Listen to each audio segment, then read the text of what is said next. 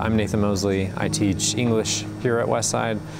So I started this brought the idea to it, uh, an old department chair about 10 years ago. Uh, at the time, even 10 years ago, I really wanted to add it, and there wasn't room in the curriculum for that um, 10 years ago. And a couple years ago, new department chairs, they decided that we were going to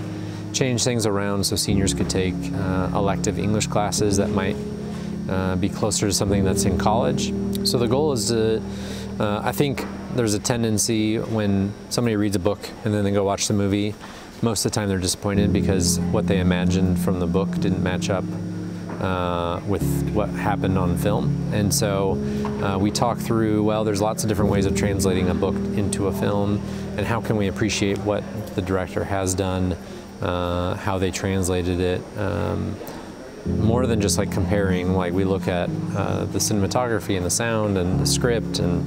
um, the acting and all sorts of different elements that go into making a film. And so there's some element of comparing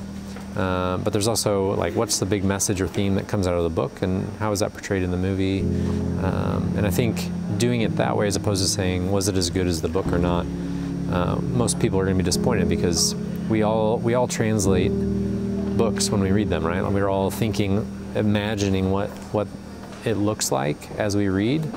and the director is doing the same thing and so it's not going to match up most of the time